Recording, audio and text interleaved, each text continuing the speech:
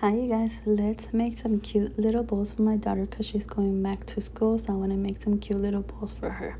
So first of all, I used um, this sublimation paper from A-sub. This is 8.5 by 14 and this is the perfect size for my printer. I do have an Epson printer so it's um, I can print bigger than 8.5 by 14 so I like how um, A-sub has different um, size for you I love the products. I'm also using A-sub um, sublimation ink. I will link everything down below if you guys are interested. And look how the colors look, you guys. They look so nice. I'm really, really excited. And I can't wait to start making more bowls for her. That way she can use them back to school. And then this is the ribbon I'm going to be using. I did get this one on Amazon. I will link it also down below if you guys are interested. And I will also link the printer that I'm using that um, I use for sublimation, the like the paper and the sublimation ink. So I'm gonna just be doing this to all of my ribbons and then I'm just gonna be placing it on my paper and add as much tape as you can because you don't want it to move once you're gonna be pressing your design. So add as much tape as you can, you guys. That way it doesn't move and it doesn't come out like looking 3D because trust me, I have done this and they look not really nice. So i recommend you adding as much tape as you can to your ribbon. Now we're going to be putting on my um, heat press and i'm going to be pressing at 370 for 50 seconds but i do recommend you guys doing at least 60 seconds or 70 seconds. That way um, the colors are more bright because i did 50 seconds. I really didn't like it, but I did like it. I don't know. I just recommend you, you guys doing 60 seconds just to be on the safe side, you guys but yes i love how it came out. I will show you guys in a little bit. The colors are so so so nice. I'm really really excited for her to see them. This is the cinderella one. And looks so pretty. I can't wait to see what i'm gonna do with them.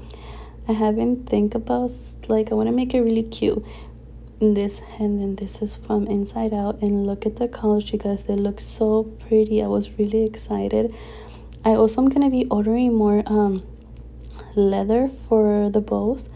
And then right now here I'm going to be folding it. On half each ribbon because I'm going to be cutting it because I'm going to make little bows for her. So cutting in half you're going to get it's going to come out perfect. So do this step for all the ribbons. Now you're going to fold them in half and mark them right in the middle because you're going to um, add glue right in the lines that we're just doing right now.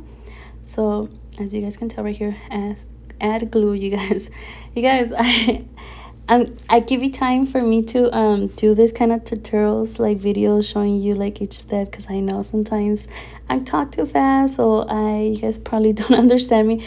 Just give me a little bit of time. I need to get used to it. I did stop doing video for a while but I'm back and showing you guys so many ideas that I have for you guys and then right here I'm just gonna be folding I think I did like five little folds.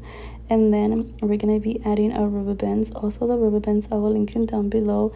I haven't had any issue with them. I like them. It does they don't break when i add the glue. So they're perfect. And i got them on amazon too. So i will link it down here if you guys are interested.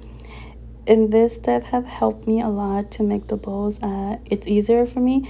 If you guys want me to share like a step-by-step -step, um, video i'll be more than happy to make a video for you guys showing you how i make the bows but yeah then i'm just going to be adding glue here and putting it right in the middle of the other one. And this is how it's supposed to come out. Add glue and just hold it for a little while. You don't want it to come apart. Just be careful you don't burn your fingers like i did.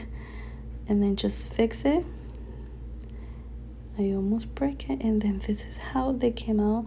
It looks so pretty and then this is the leather i was talking you guys. I got it on amazon. I need to order more because i don't have a lot of colors. So i need more different colors. And then i'm just going to be adding right in the middle right there and then hold it. And then i cut a little piece of the leather and put it right in the middle. That way we can hide the ribbons and yes you guys this is how they came out. I love it.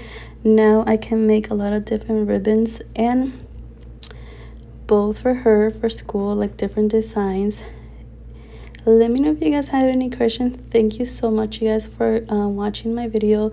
And if you are new to my channel please subscribe because i'll be uploading so many videos and so many tips tips and tricks of sublimation DIYs and yes I can't wait for you guys to see all the videos I have for you guys. Thank you so much for supporting me. It means a lot to me and this is how they look you guys. I love them. I can't wait to put them on my daughter. If you guys haven't followed me follow me on Instagram and TikTok because I am planning to upload so many videos on TikTok and Instagram you guys. But yes I will link everything down below if you guys are interested on the products that I use. Bye